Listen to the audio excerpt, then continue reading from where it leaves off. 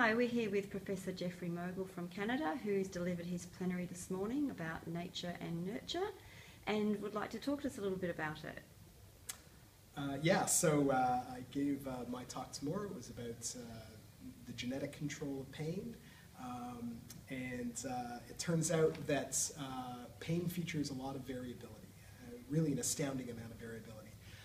So people have different sensitivities to pain that vary over a wide range. You can give the same pain stimulus to uh, 100 people and get ratings that range essentially from 0 to 100 and everything in between. Uh, people have great variability in their susceptibility to developing painful diseases after injuries or infections.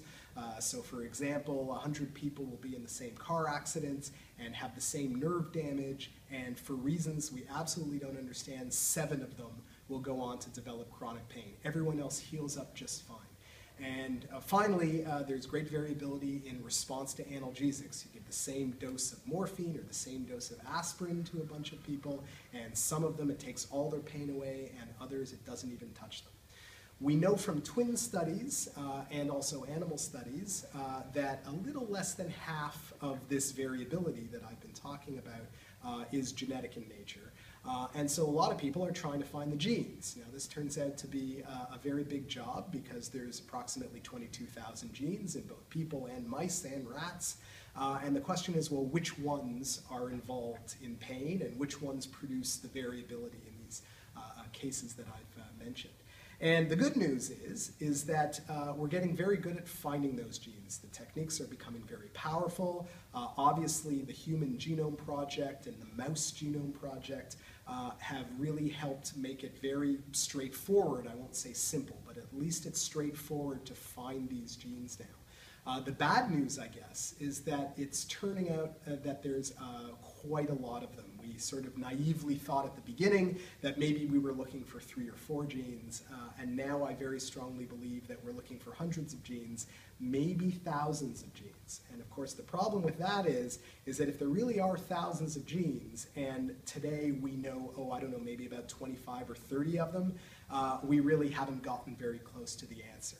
Uh, but then on the other hand, technology is advancing and we're getting faster, and uh, maybe uh, before too long, uh, we'll have a better uh, handle on things. And so I was telling the audience about the sort of possibilities of pain genetics and the continuing challenges of pain genetics.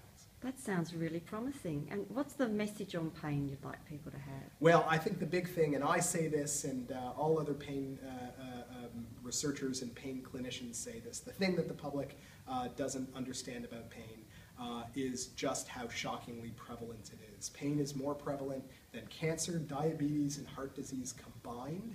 Uh, it is uh, responsible for more burden of disease uh, than anything else. The only thing that comes close is depression.